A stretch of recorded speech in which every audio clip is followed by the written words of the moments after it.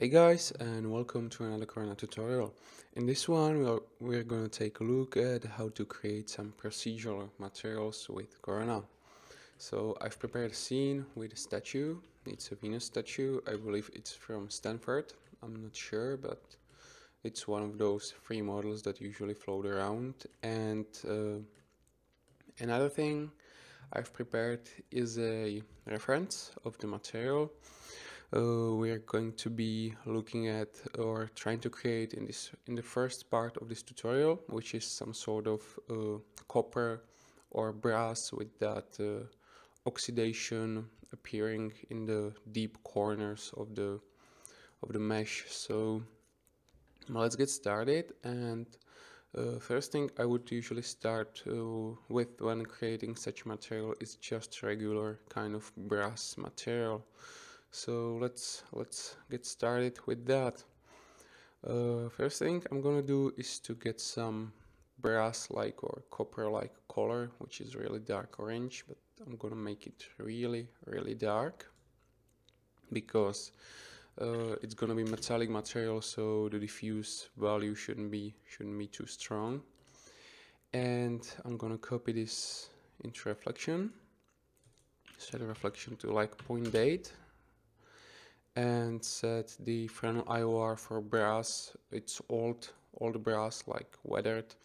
So let's try like um, three, four maybe, and uh, just uh, um, I, I've I've copied the color to to retain the the hue I had, but uh, I'm gonna just make it really slightly saturated not too much. Okay so this is good start. Now we can take a look again at our reference. Probably go with more orange so like 8 and 12 here. Make it slightly more saturated and now I can start to decrease the glossiness till I get something I like. So this actually doesn't look too bad. Again, constantly looking at a reference, what's there. I might want to push it even further towards the yellow as well as the base layer. And maybe saturate the reflection even even more, just slightly more like this. Okay, and um, what we can do next is I'm not sure about white balance of this image because it still doesn't match, but we can we can obviously tweak it. Uh, these kind of materials are always a matter of just tweaking them until until they look right. All right, so let's let's go with this and of course to mask out our areas in the corners we're going to use the good old Corona ambient occlusion map which is here. And what I like to do is I'll just temporarily uh, put a mix in here into diffuse color put Corona ambient occlusion here use it as a mix, mix also put an output so I can modulate it. And I'm gonna take this color which I'm gonna be tweaking and set it to some vibrant color.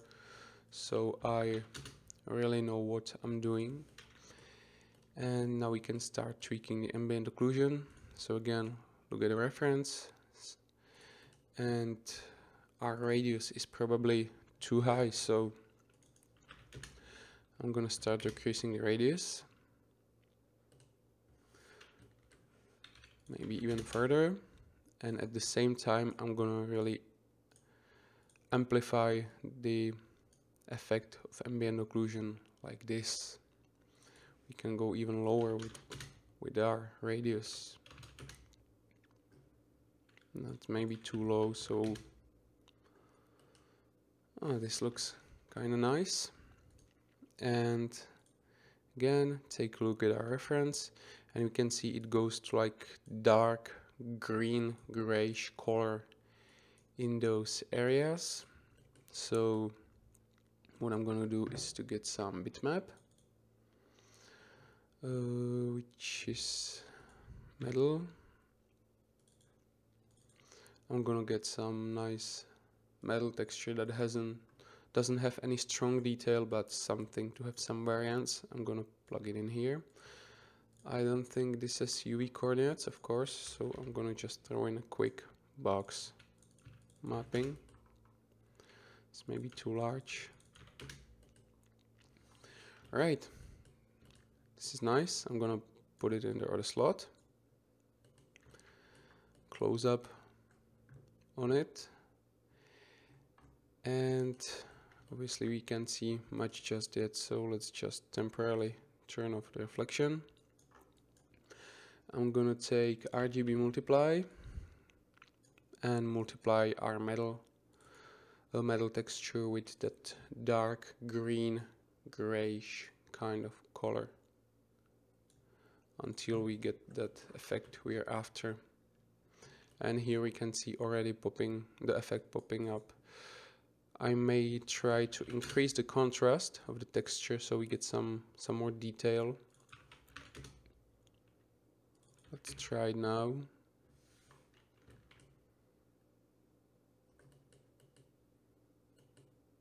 I'm just searching for a good some good angle to evaluate my texture but I'm gonna actually increase the tiling so we can see a bit more of the detail. Oh, still nothing. So we may go really hard on the texture contrast to see actually something.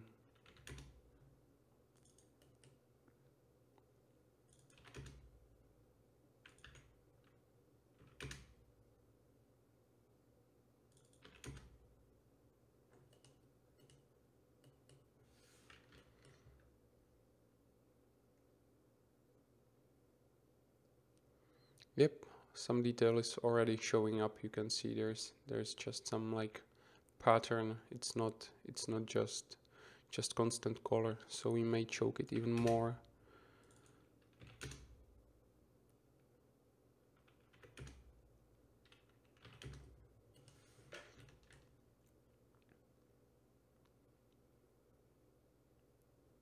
Okay, I'm quite happy with this, but another thing I want to do is to modulate the spread of the ambient occlusion map. So I'm gonna I'm gonna even amplify the ambient occlusion effect even more.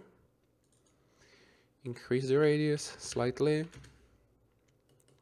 And I'm gonna just look at our reference and you can see it's not completely even when it comes to weathering or, or the oxidation it's it's more like random so we're gonna introduce some randomness using noise. I'm gonna temporarily put the noise in here, set it to world, and so we can see what's going on. I'm gonna tweak the map here on the in the diffuse slot. Alright, so maybe like 10, 5, 2, 1, 1.5 is about what I'm looking for. I'm gonna compress the map slightly together so uh, the noise is more obvious. And then I'm gonna plug this map into ambient occlusion radius or distance in this case and plug this back. And we can see some more randomness in the distribution. This may be actually way too strong so so I'm gonna soften it. I'm gonna actually just make this corner and soften this curve. So the fall off is more gradual. And also the choking of the of the map or compressing it wasn't a really good idea. But it's starting to come together real nicely. Maybe also increase the radius even further. We can also play with the spread. but be careful it's it's quite sensitive actually you see this is too much so let's let's go with 0.5 0.4 maybe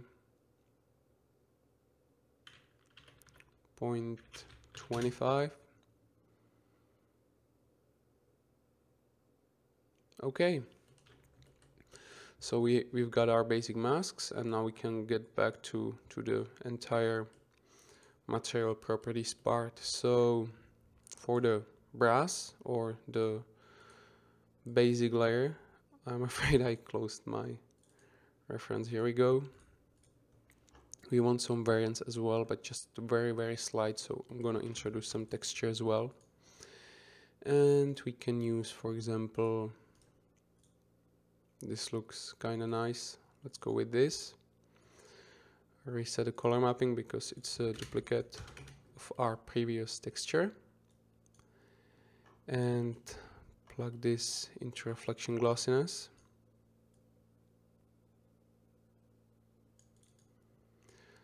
And let's put our reflection back to where it was.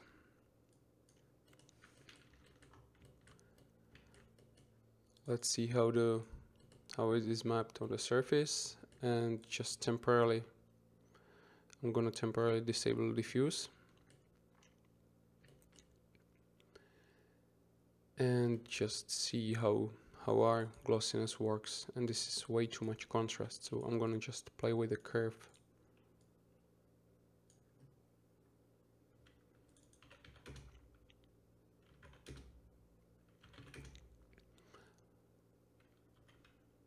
I want to see some color variation but just just slightly not too much. Okay now let's enable diffuse back on. And here you want to set some uh, we want to set some dark color. Basically we want just this color. Copy it paste it here. Oops that's wrong actually it looks like I've been I may have been uh, working on the wrong ah oops sorry Alright, so I need to get oriented in this mess. Okay, so this is the diffuse. This was multiplied by this kind of color.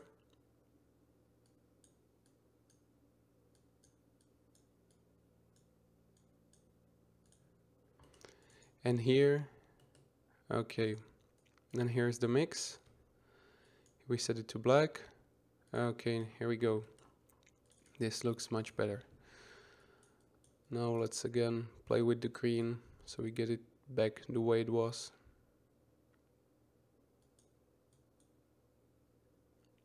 Okay and now here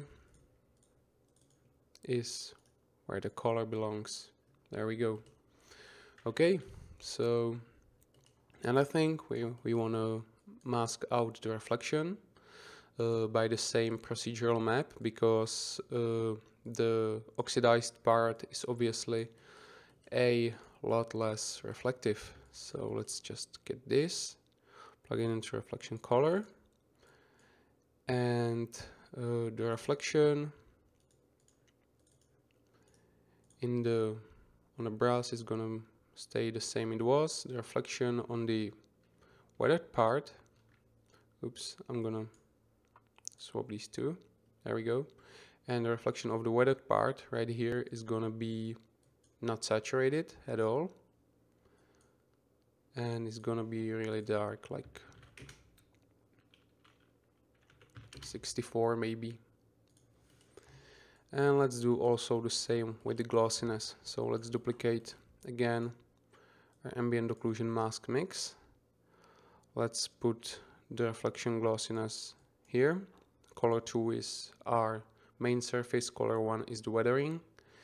And maybe let's duplicate it or uh, drag an output out of it.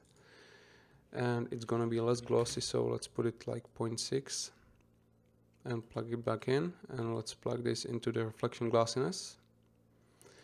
And we can use this to modify how glossy the surface is on on the weathered areas. So if I overkill it, you can see it's pretty much mirror anywhere there's the oxidation. and if I lower it to zero, you can see the oxidation is really rough. So I'm gonna set it to like 0 0.5, 0 0.4 maybe.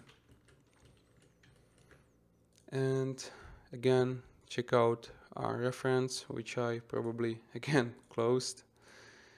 Here we go. And we're slowly getting there. Mm, obviously, we want this maybe generally be a bit more glossy.